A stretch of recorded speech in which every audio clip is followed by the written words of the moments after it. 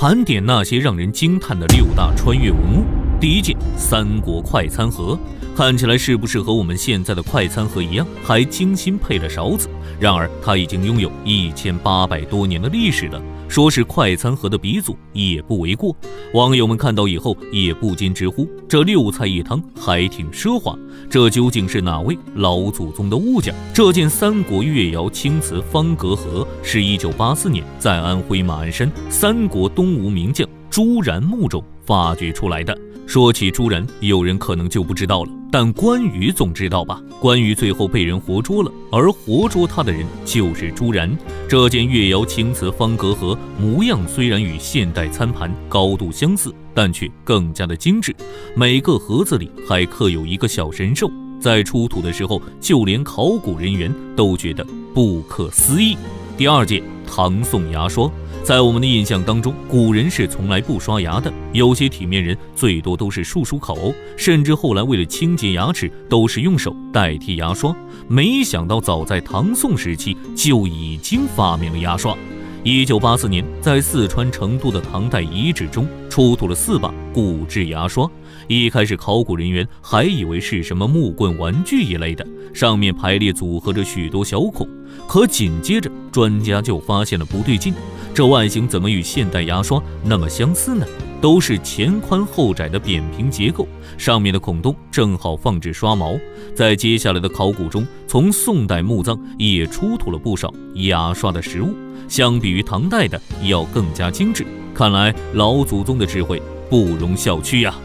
第三件战国水晶杯，看到它的第一眼，你是不是和我一样都觉得这不就是一个普通的玻璃杯吗？有什么大惊小怪的呢？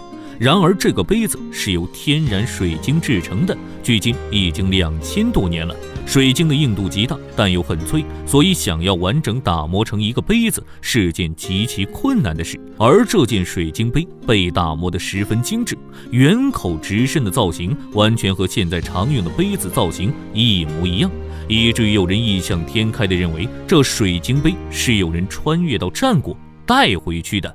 当初被发现的时候，考古人员还差点以为这是盗墓贼留下来的。战国水晶杯是迄今为止中国出土的早期水晶制品中器型最大的一件，后来还被国家文物局列入禁止出国展览文物目录当中。像战国水晶杯这种稀世珍宝，不光现在是国宝，放在战国时期那也绝对是顶级宝物。盘点那些让人惊叹的六大穿越文物，第四件扯淡杯，扯淡。再不来了，你敢相信吗？这几个字竟然出现在一个明代石碑上，这不是现代人的语言方式吗？难道是所谓的穿越者刻的吗？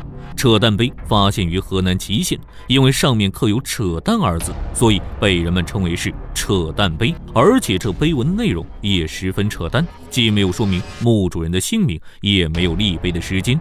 有人推测，这碑文就是崇祯皇帝写的，他吊死万岁山就是一个假象。而是逃走隐居了起来。